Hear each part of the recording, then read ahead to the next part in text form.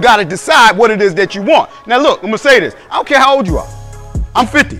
I don't care if you're 60, 70. I don't care how, how if you ain't healthy. It don't matter. You can sit down, take the time, and get on your grind and study something and learn something, get a trade. And I'm going to tell you why. Because when they see you doing it, they're going to do it. They don't listen to nothing you say. I'm telling you, when you start doing what you say you want to do, everybody around you be like, yo, he really making that thing happen. My son, straight up, he'll tell you, like, he rock with me not just because I'm talking. He see me making moves. He see the money coming in. He get paid for this today.